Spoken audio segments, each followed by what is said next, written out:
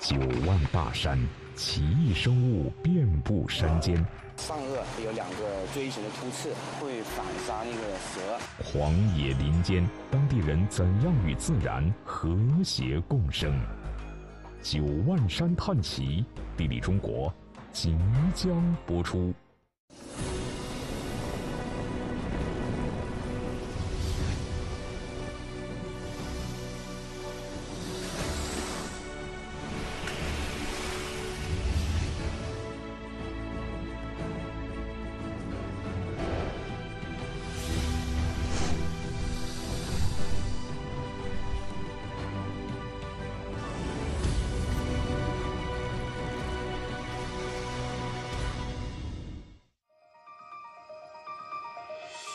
各位好，欢迎收看我们今天的《地理中国》节目，我是盛春。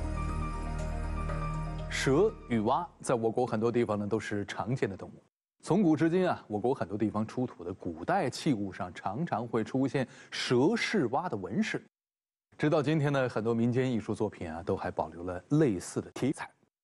您看，眼前的这幅剪纸啊，它描述的就是这样的景象：蛇吃蛙，这很常见。可如果反过来，蛙吞蛇，这您见过吗？不久前，在我国广西的九万大山啊，就有人看到了这一不可思议的景象。这到底是什么蛙呢？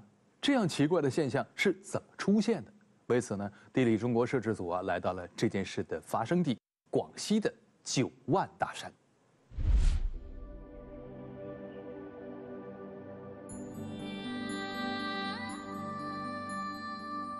桂北。是一片绿色的海。为了探寻传闻中的吃蛇蛙，队员来到九万大山。从高处俯瞰，九万大山层峦叠嶂，奇峰竞秀。当地人说：“桂林山水甲天下。”但是广西处处是桂林，星罗棋布的喀斯特孤峰。都有着与桂林山水同样的灵秀。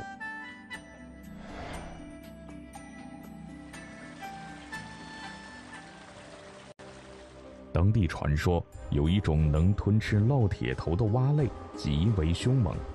烙铁头是一种对人类都有极大威胁的剧毒蛇。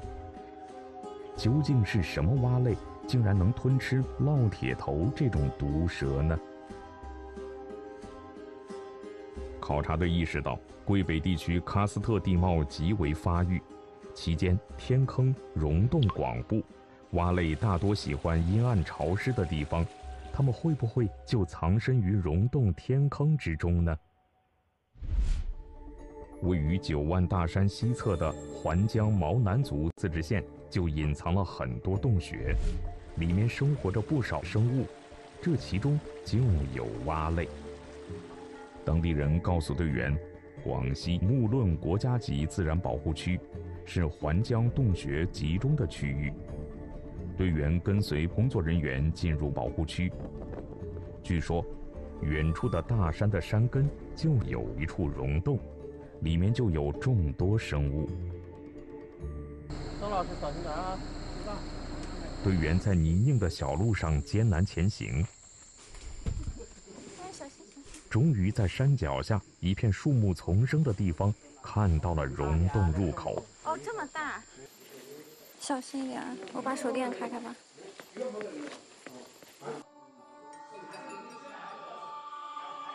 刚一进洞，队员就明显感觉到扑面而来的水雾。在洞口，队员也看到了昆虫等动物。哎，你看这个马路。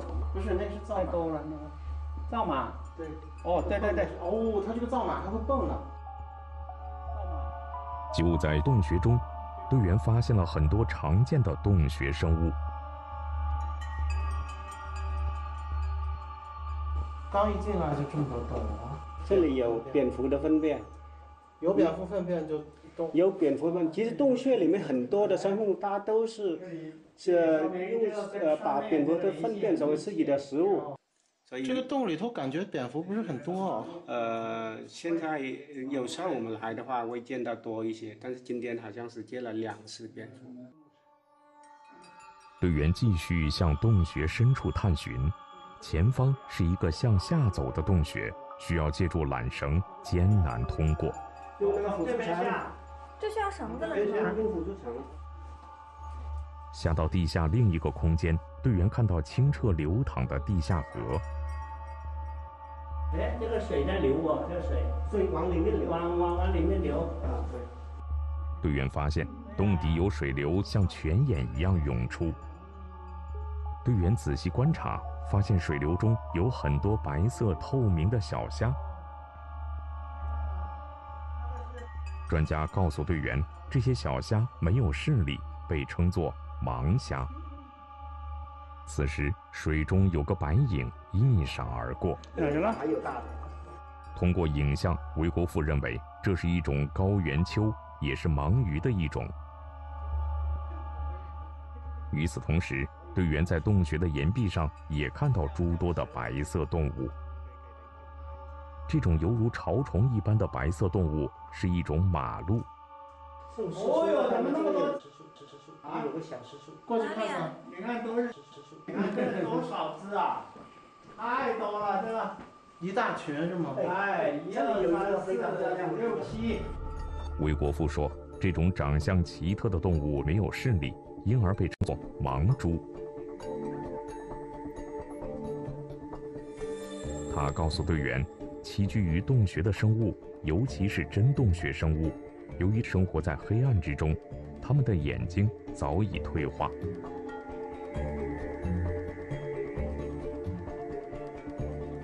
队员们进洞仅仅几十米的距离，就在很短的时间内陆续发现了如此多的洞穴生物。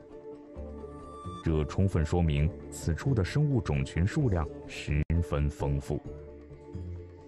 呃，一个潮湿的这个环境，因为这有地下河嘛，洞外的地下流进来，不是从洞口流进来，它这个水流动呢，也就说明呢，它这个呃饵料应该很多，哦，就是它的食物很多，所以呢，它有很多这样的一些呃小的一些昆虫类啊，一些呃小的这些水上的生物。曾令峰，南宁师范大学教授，长期从事我国南方喀斯特地貌研究。通过初步考察，专家注意到这里的环境比较适合蛙类的生存。那么，传说中的那种吃蛇蛙，会不会就隐藏在这些洞穴天坑之中呢？于是，专家提醒队员们要特别注意寻找蛙类两栖生物。或许会有收获。果然不出专家所料，在返回洞口的过程中，一名队员就发现了一只通体全绿的青蛙。在哪里啊？这青蛙？韦国富介绍，眼前的生物叫雾川臭蛙，是一种极为珍稀的两栖动物。它们并不具备攻击蛇的能力。臭蛙靠着遇险之后分泌奇臭无比的气味，躲过天敌的追杀。在木论的众多洞穴当中啊，现在已经发现了除雾川臭蛙以外的多种蛙类。但是这些蛙类啊，它们大多或者是体型娇小，或者呢是行动迟缓，不太可能具有攻击蛇类的能力，反而经常被蛇捕食。专家认为啊，洞穴之外广袤的森林当中呢，找到吃蛇蛙的这个可能性更大。九万大山之中呢，要说蛇类分布最密集的，应该是地处环江毛南族自治县与融水苗族自治县交界处的广西九万山国家级自然保护区。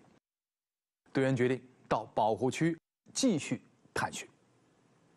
三坊镇位于融水苗族自治县县城西北八十多千米处，临近广西九万山国家级自然保护区，动植物资源十分丰富。其中就有不少珍稀的两栖爬行动物。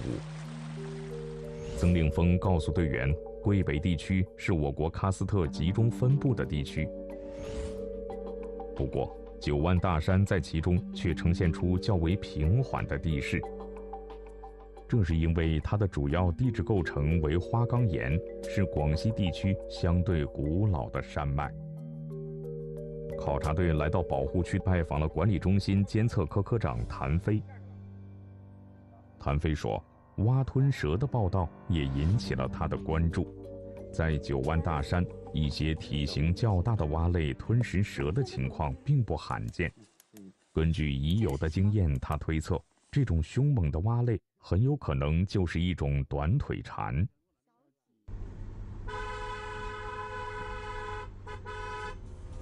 保护区中，就有可能会有这种蝉的蝌蚪。”为验证这一猜测，他建议大家深入保护区进行详细探寻。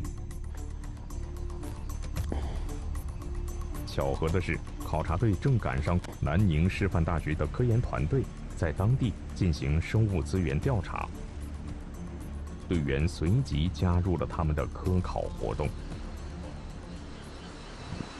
这对面就是我们保护区的一个核心区，它的主要一个保护对象是我们的。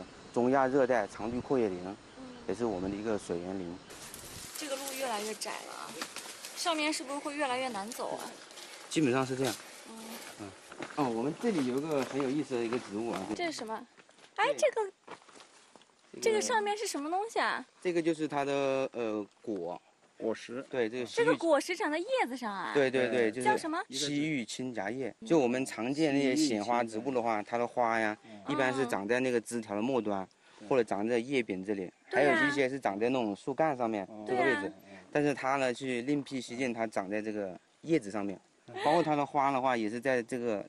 长在这个叶子上面，就是叶上开花、叶上结果的一个很有意思的一种植物啊。那这样的话，它这个原因是什么呢？为什么要在叶上开花？在叶上？它这个的话是，就是为了提高它一个曝光率，就是说它那个花长在叶子上面，昆虫的话可能更容易发现它，它更利于它一个一个授粉，对，更利于它一个授粉一个种子传播。专家告诉队员。九万山常绿阔叶林生长茂盛，在中国中亚热带地区中具有相当高的典型性和代表性。加上保护区少人打扰，生境基本保持原始的自然状态。如果在溪流边仔细寻找，队员应该能找到很多蛙类的踪迹。是这个虫子是什么虫啊？呃，竹节虫。这么大，刚才在树枝上都没有看出来啊。对，它一般会有这种呃，这个有这个拟态的行为，会跟这个环境的颜色相似。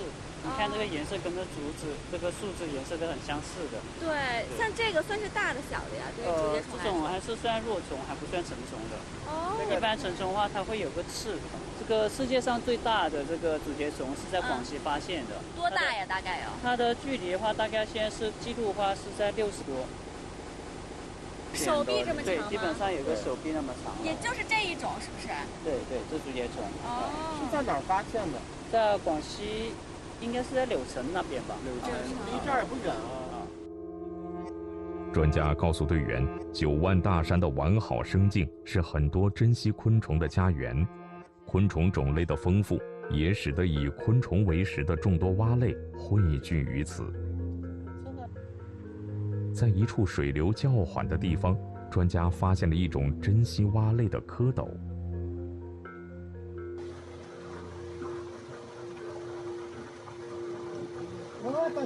好了，好了，好了，好了，哎，好了。哦，你看，你看那个石头上也有贴着的，看没？看没？就是说它这个特点呢，就是说在这个尾鳍这里啊，有一个颜色，就是明显就是一个。淡的一个斑纹，嗯，如果是吉吉胸蛙的话，它就是不会有这个这个斑纹的。还有一个特点的话，就是说，在这个溪沟里面啊，这个呃这个齿长的蝌蚪它是非常大的，有就是像差不多大的话，再长大一点，它差不多有拇指这么大啊，就这么一大。而那个吉胸蛙的话，也要略小一点，这个小指头这么小。哦。所以说从这个可以判断它是什么蝉吗？呃，这应该是个雷山齿蝉的。我们看的话，它是比较扁，比如说它和蟾蜍就不一样，蟾蜍的话可能就身体的就比较壮一点，壮实一点。它这个体体体型呢略扁，而腹部的话很多呃一些呃一些那种乳白色的小小斑点。你看它这两个有有明显的的齿在这里啊，对，这是它的一个角质角质齿。这是雄性啊，对，这是是雄性的，在繁殖季节的时候它才有。专家说，队员要寻找的那种能吃蛇的蛙，就与眼前的雷山资产有些类似，因为它们同属于角蟾科，两者都是体型比较大，身形呈扁平状。队员开始扩大搜索范围，在周围的水域继续寻找。再找一找，再找一找。那个蝌蚪它大概长什么样子呀？呃，它那个蝌蚪是很特别，它的那个下嘴唇呢，它是往上翻的，往上翻的。你看见它的时候，可能就是感觉它嘴巴上咬的东西。啊，那偏大偏小？一般都不大，对，不是特别大。那还要仔细找找，那我们分开找找吧。嗯。哎，有个东西跑过去了。嗯。什么东西啊？哦，这里有一个蝌蚪。让大家感到无比兴奋的是，在专家的指导下，经过一番仔细搜寻，队员们果然发现了短腿蝉的蝌蚪。哦，是吗？是吗？我看一下。我们今天运气还比较好啊！这个短腿蝉的话，它的蝌蚪是过冬的。那这个蝌蚪的话，你看虽然很小，但是至少是经历了有小小半年了。成体上大概发育到两年左右，它才会完全把它这个呃尾退掉，变成一个。亚亚成体的，那那它变成青蛙那种形状的时候，它那个成体大概有多大？有手这么大吗？八九公分左右。八九公分啊？嗯，还是比较大。队员将短腿蝉的蝌蚪装到矿泉水瓶子里仔细观察，发现确有两个向上翻，犹如獠牙一般的凸起。谭飞说，这种蝌蚪的成体是一种短腿蝉。它性情凶猛，就是传说中能吞食蛇的那种蛙。为了让大家对它有一个清晰的认识，谭飞拿出了之前他们拍到的短腿蝉的照片。哦，这个就是啊。它的呃成蛙的上颚下会有两个锥形的突刺，在它上颚下面两边。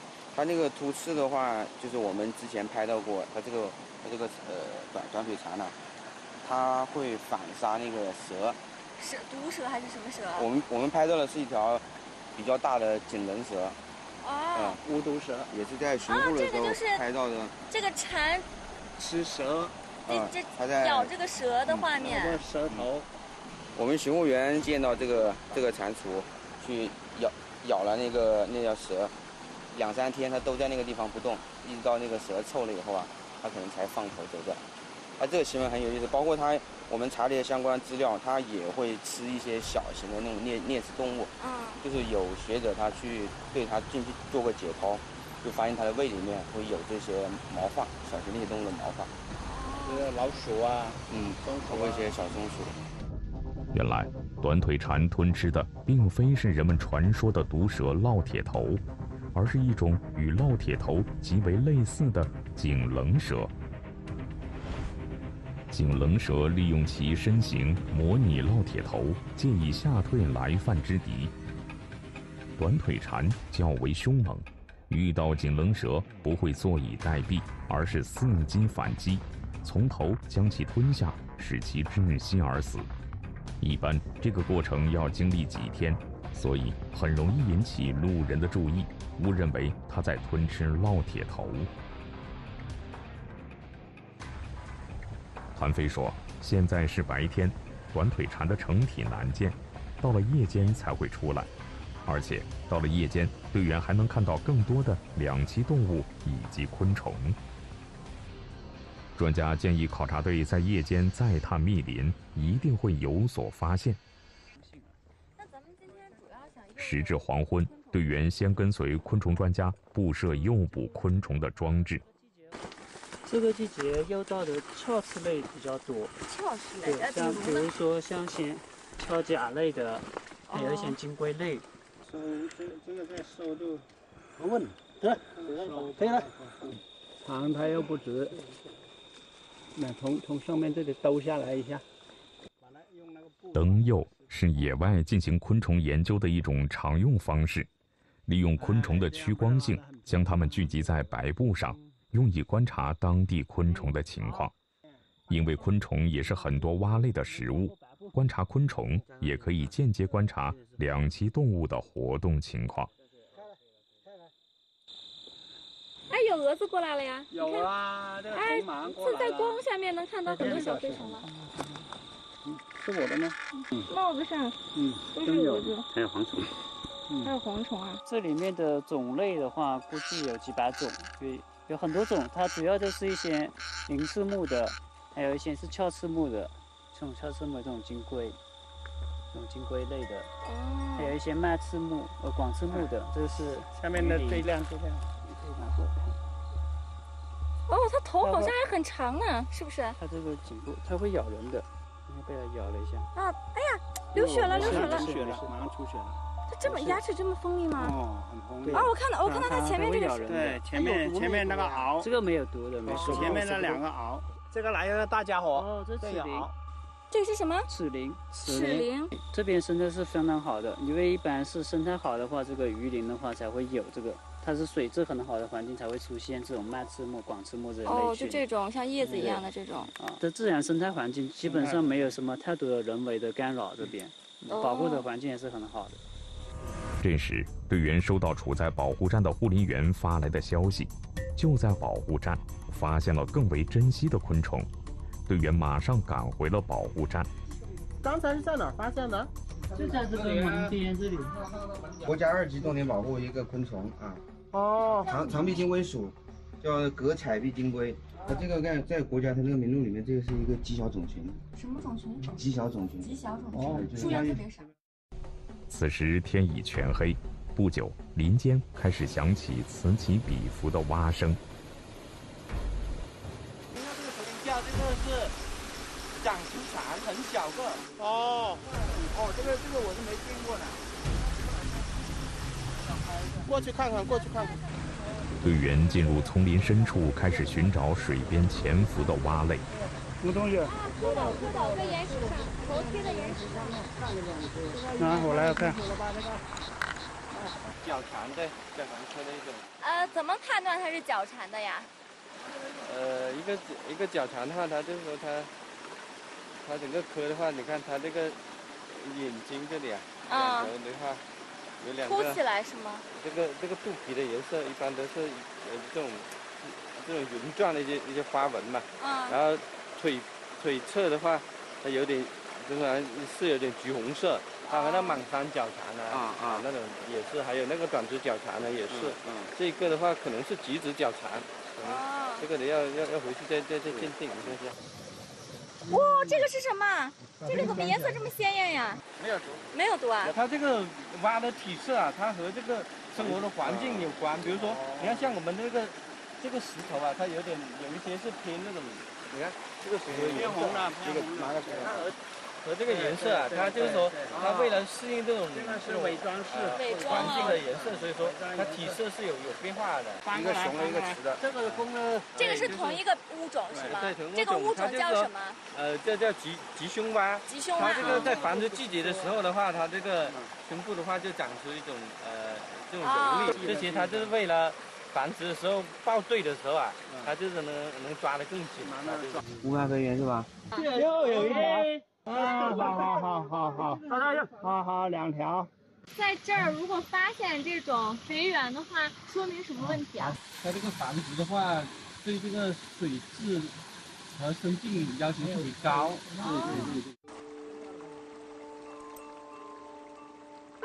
专家告诉队员，能吞下大蛇的短腿蝉与刚才看到的角蝉同为一属，但体型要比它大许多。你看这个，这有点像那个幼体。就在队员持续找寻的过程中，谭飞告诉队员，他刚才在密林深处拍摄到了短腿蝉的影像。我刚才呃拍了一只短腿蝉。哦。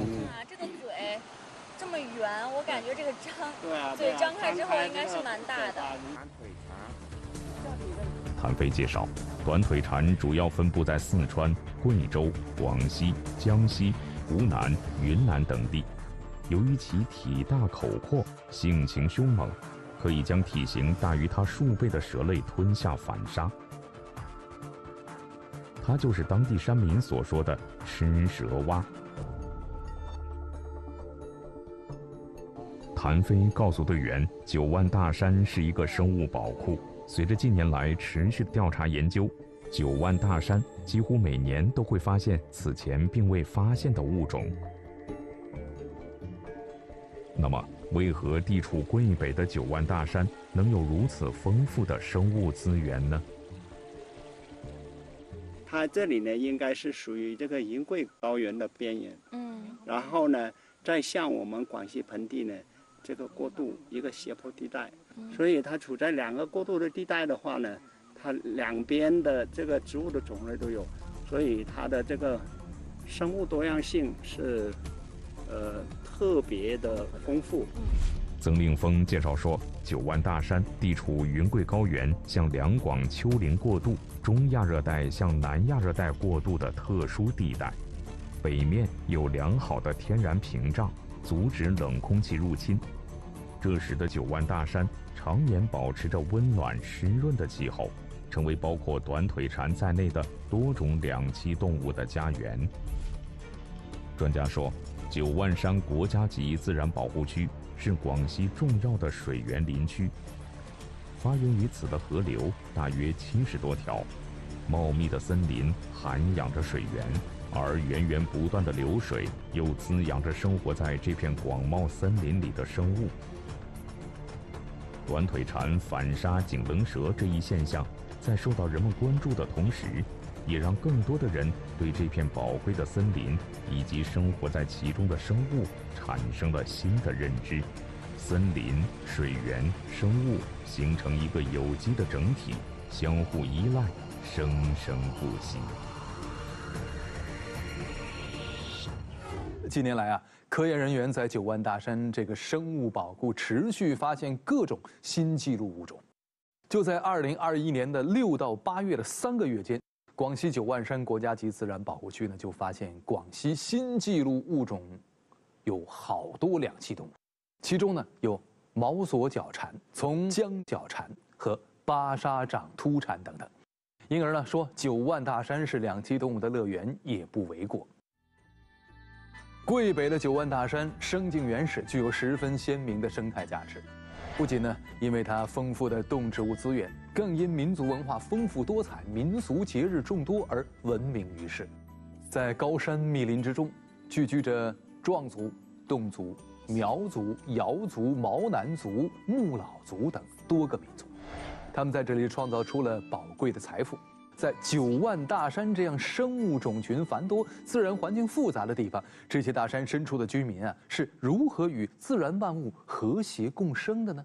欢迎您明天同一时间继续关注我们的节目。好，感谢您收看我们今天的《地理中国》节目，我是盛春，咱们下期节目再见。